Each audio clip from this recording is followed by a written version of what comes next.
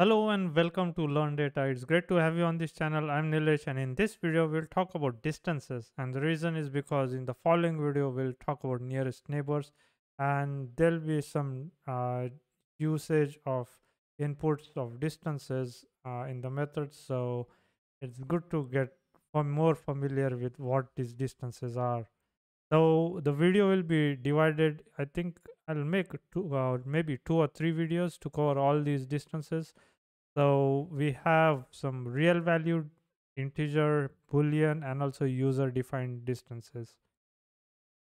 So why do we need to measure distances? Because we are trying to find sometimes the dis uh, similarity between uh, two sets of data and the most familiar similarity or dissimilarity the most familiar distance that we know about is the Euclidean distance. So we have these two data points. We can calculate the Euclidean distance between these two and we'll see how in a minute. And we can also use uh, these methods to find distances between two images to find out how similar they are or how dissimilar they are. Moreover, we can find distances between two locations on Earth or uh, sorry, two points on a sphere because uh, the surface of the sphere would be curved and therefore we cannot measure a straight line distances so there's a way to measure that. We can measure distance between two sets of matrices or uh, again two tables or two data sets.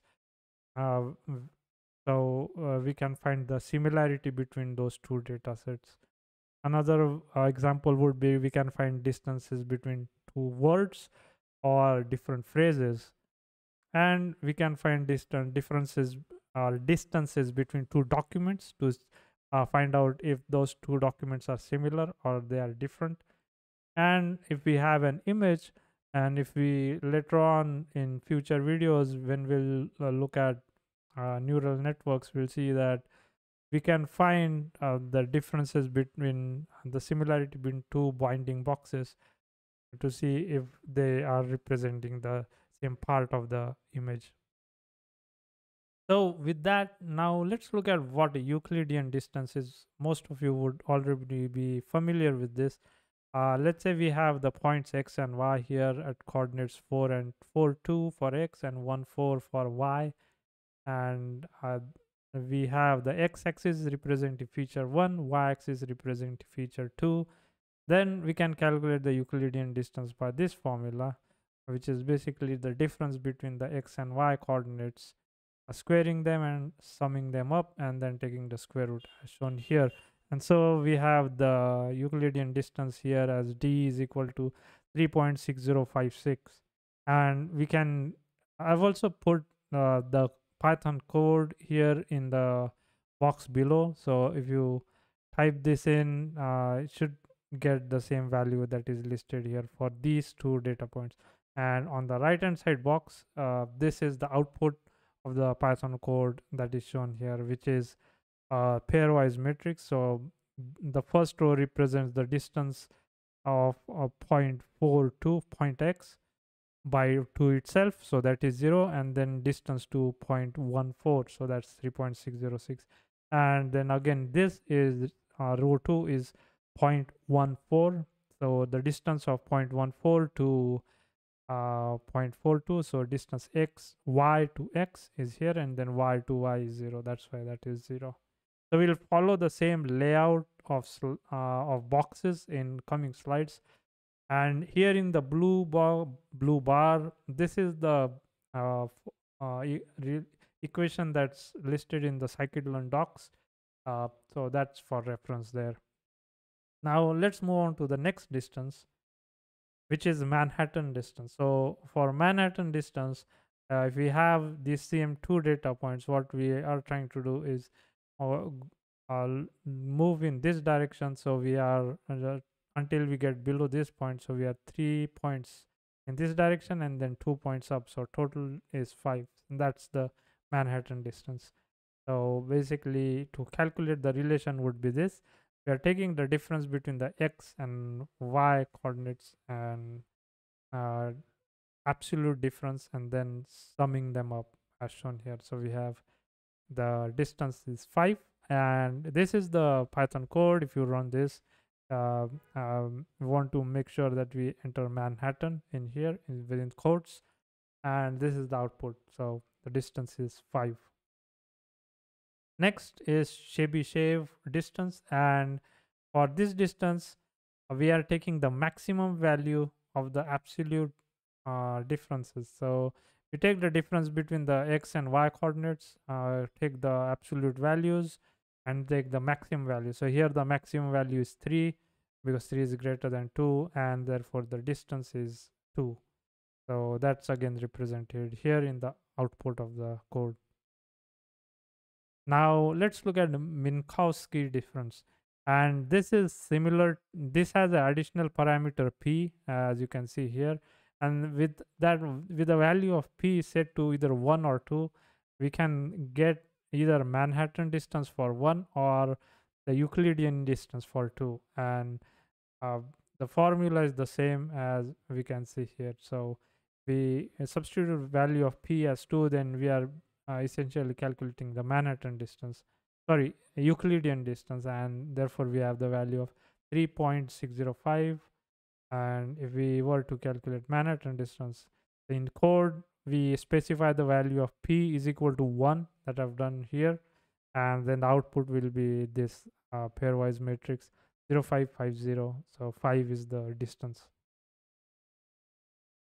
next this is the weighted minkowski distance.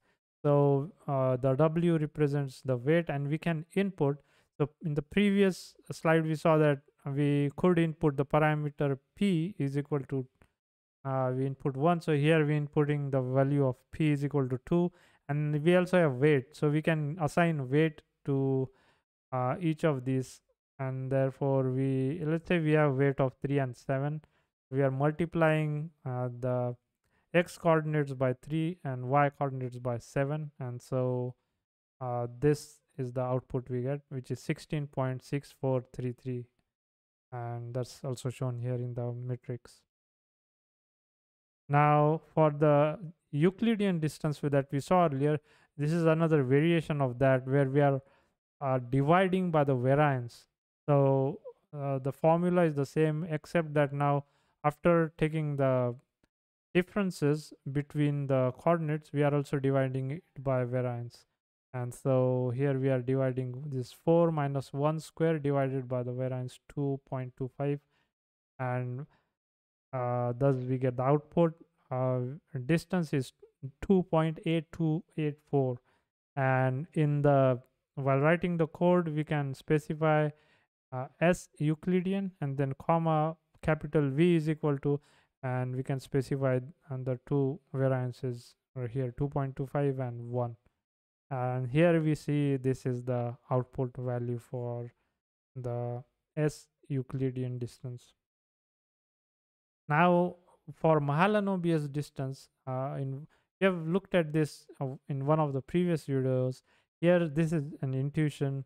Let's say we have a set of data points as shown here some blue and a magenta, one orange, and then one represented by the X here, which is a red. Uh, now, if we uh, look at the distance of point A, B to C, uh, which C is the centroid, then we see that those are equal equidistant if we calculate the Euclidean distance. However, uh, we see that the variability of the data, so if we uh, look at along the dotted black line, we can see that the data has more vari variability along this line as compared to this line. So is there a way we can include the variability in the data set to find out how far these data points are from the centroid of that cloud of points? And so there is, and that's what is the Mahalanobis distance. And if we try to plot an ellipse around this, uh, of what we can see that the ellipse would be representative of the variability in the cluster of data points. We can see that the point b is much closer to the ellipse as compared to the point a. And so if we uh, so what for Mahalanobis distance, what we essentially do is transform this data set into a, a form such as shown here, which has, uh, so we are essentially removing the effect of variance and we are uh, therefore getting this sphering effect or whitening effect on the data set. Uh, and therefore, if we now calculate the distance of these points A and B to the centroid, we would see that the point B is closer to the centroid as compared to point A. And so now if we look at uh, this slide, there's a lot of information here. So I'll go step by step.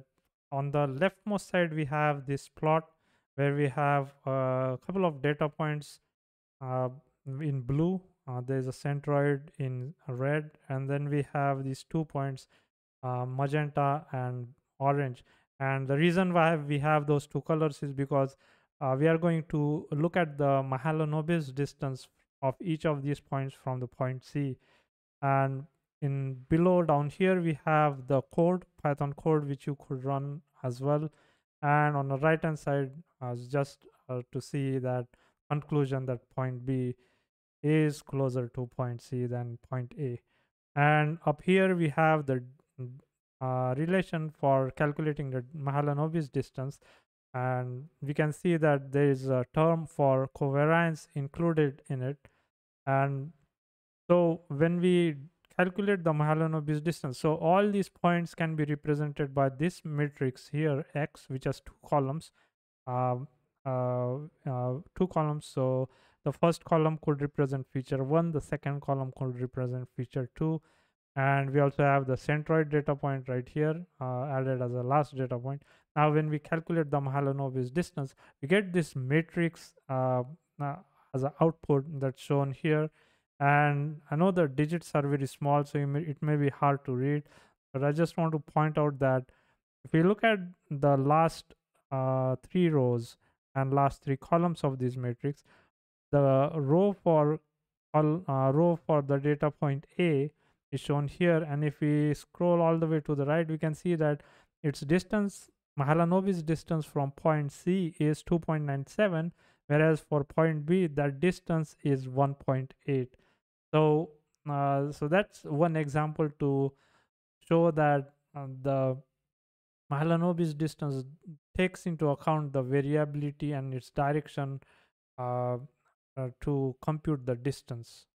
And this could be very helpful when we talk about the k uh, clustering in future videos or if it when we talk about the uh, k nearest neighbor algorithm that was it for this video i hope in this video you got an intuition about what is the need for distances calculating distances and we looked at a couple of distances such as euclidean distance uh, manhattan distance and all the way up to Mahalanobis distance. In next video, we'll continue this discussion on distances.